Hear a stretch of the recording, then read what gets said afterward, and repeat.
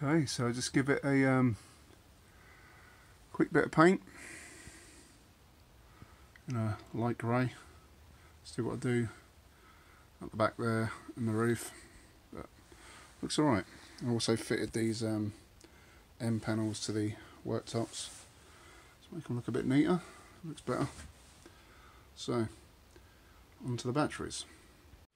Okay, so quick video about the leisure batteries. Um, I've just fitted another 110 amp leisure battery, so I've got two of them now, two 110s. Um, the top one is the original battery, this is the new one. Um, so what I've done is kept the original positive on that one with all the load on it, and the negative that was off this battery I've put on the other battery. So then what I've done is put a live lead from there through to this one and then a negative lead from that terminal through to that one. So that's them running in series. So when you set it up this way it evenly distributes the discharge. So one battery if you did it the old the other way so if the original earth terminal was on the same battery as one with the all the load on um, and just patched the two together um, you would discharge this battery before you would that one. So this is, from what I've read, the proper way to do it. So hopefully I will get a bit more life out of the batteries. I'm still not sure if this one is that good because I was getting through power really quickly. So within an hour it go from 12.9 volts down to 12 with just these um, LED lights running. So hopefully that helps it. Um, I'm not really sure how it's all been set up to be honest because I never fitted this but I will eventually rip it all out and start it again.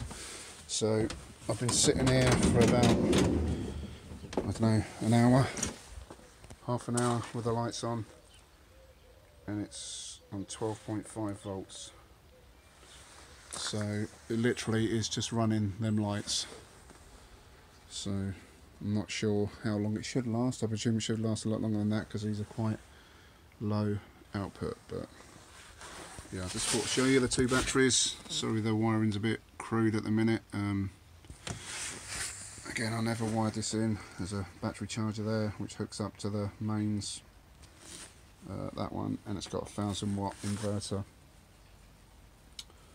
So it's currently Saturday. We're hoping to go away on Tuesday, or maybe uh, maybe Monday or Tuesday to York for a day or two, and then up to Scarborough for a day or two. We might do a bit of wild camping. Depends how well these batteries hold up.